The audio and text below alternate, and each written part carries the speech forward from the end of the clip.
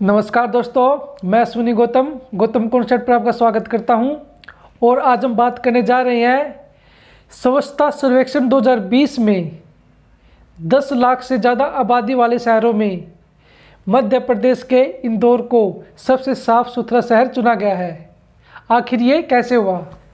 इसी के बारे में आज हम चर्चा करने जा रहे हैं। अगर आपने अभी तक चैनल सब्सक्राइब नहीं किया तो कर लीजिए, ताकि टाइम पर आपको लेटेस्ट नोटिफिकेशन मिलती रहे।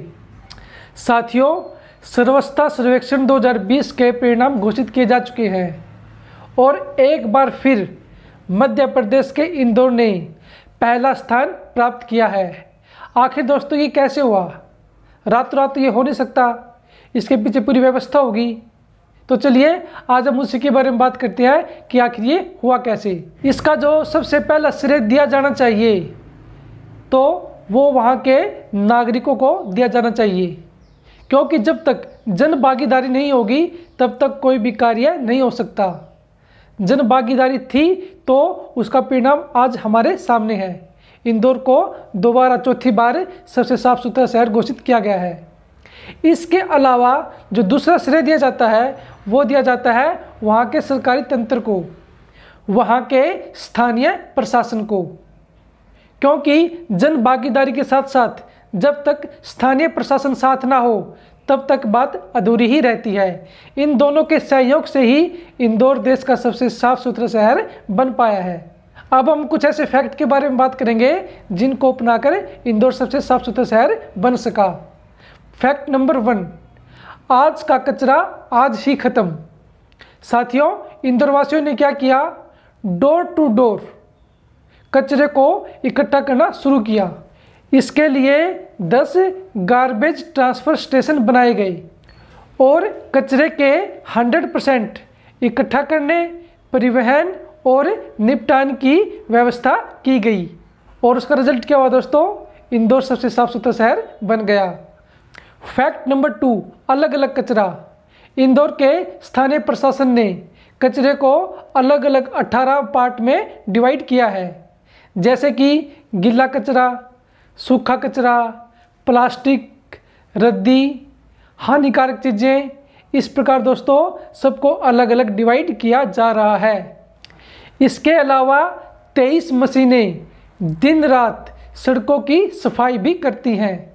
ये भी एक इम्पोर्टेंट कारण है इंदौर को सबसे साफ़ सुथरा रखने में। फैक्ट नंबर थ्री इंदौर के अंदर 425 यूरिनल व 225 सामुदायिक शौचालय हैं, जिनकी डेली बेस पे सफ़ाई की जाती है और साथ में वहाँ पर दोस्तों थूकने पर और गंदगी फैलाने पर भारी जुर्माना रखा गया है, जिससे क्या होता है, आम नागरिक जुर्माने के डर से बचकर ऐसा करने से बचते हैं।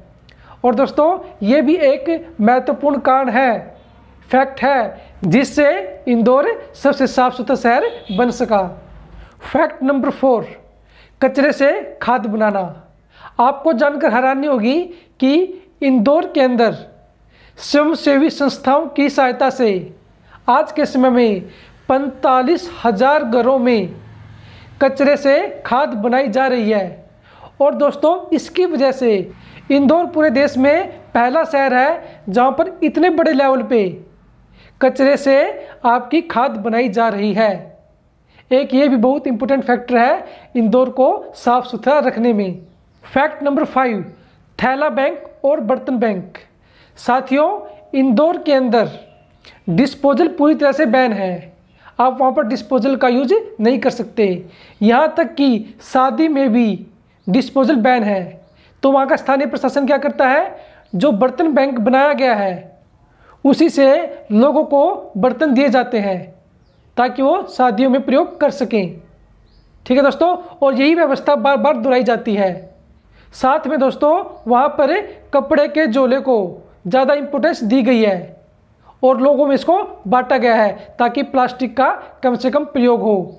इसकी वजह से भी साथियों, इंदौर सबसे साफ़ सुथरा शहर बनने में सक्षम हो सका है। फैक्ट नंबर सिक्स कचरे से कमाई।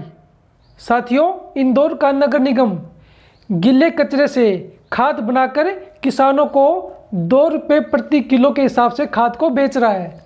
इससे क्या हो रहा है साथियों, किसानों को खाद मिल रही है और नगर निगम को पैसे मिल रहे हैं। और इसका परिणाम क्या हुआ दोस्तों, नगर निगम को हर साल डेढ़ से दो करोड़ रुपए के बीच में कमाई भी प्राप्त हो रही है। और साथ में मैं आपको एक बात तो बताना चाहूँगा साथियों, जो वहाँ का स्थानीय प्रशासन है, नगर निगम है वहाँ के कर्मचारी सवेरे छः बजे ही मैदान में आ जाते हैं। मतलब कि सफ़ाई कर्मचारियों के साथ वो पूरी व्यवस्था का ध्यान रखते हैं। और दोस्तों, जब सरकारी तंत्र इतनी मजबूती के साथ खड़ा होता है तो आप सोच सकते हैं कि परिणाम क्या होंगे। इन सब चीज़ों को मिलाकर दोस्तों लास्ट में हम कह सकते हैं कि ये वो सब चीज़ें हैं जिसकी वजह से इंदौर पूरे देश में लगातार चौथी बार पहला स्थान प्राप्त कर सका है। तो फ्रेंड्स पूरे देश को इससे सीखने की ज़रूरत है, ताकि हम कचरे का ठीक से प्रयोग कर सकें और अनेक बीमारियों से बच सकें। आपको वीडियो कैसा लगा साथियों, कमेंट बॉक्स में जाकर ज़रूर बताइएगा। और अगर आपको वीडियो पसंद आए तो चैनल को सब्सक्राइब ज़रूर कीजिएगा। आज के लिए इतना ही। Thank you have nice day